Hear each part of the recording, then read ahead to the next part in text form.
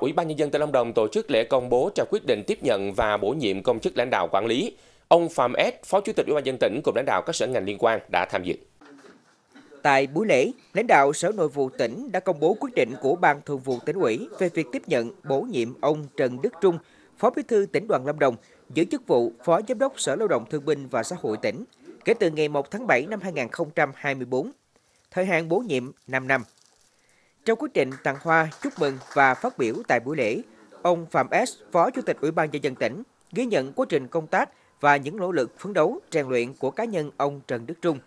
Đồng thời khẳng định, ông Trần Đức Trung là cán bộ trẻ được đào tạo bài bản, đã trải qua nhiều cương vị công tác. Phó Chủ tịch Ủy ban nhân dân tỉnh Phạm S cũng mong muốn trên cương vị mới, ông Trần Đức Trung cần phát huy năng lực sở trường, nhanh chóng nắm bắt công việc của ngành để từ đó cùng với tập thể ban giám đốc Sở Lao động Thương binh và Xã hội tỉnh tiếp tục lãnh đạo chỉ đạo toàn ngành triển khai hoàn thành các nhiệm vụ được giao,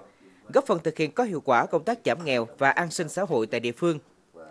Phát biểu nhận nhiệm vụ, ông Trần Đức Trung, Phó Giám đốc Sở Lao động Thương binh và Xã hội tỉnh, bày tỏ sự tin tưởng của Thường trực tỉnh ủy, Ủy ban nhân dân tỉnh và nghiêm túc tiếp thu ý kiến chỉ đạo của Phó Chủ tịch Ủy ban nhân dân tỉnh. Đồng thời hứa sẽ không ngừng học hỏi, rèn luyện, trau dồi phẩm chất đạo đức, cố gắng phát huy hết năng lực sở trường với tinh thần trách nhiệm, quyết tâm cao để cùng tập thể lãnh đạo, sở, cán bộ, người lao động phát huy sức mạnh tập thể, hoàn thành tốt nhiệm vụ được giao.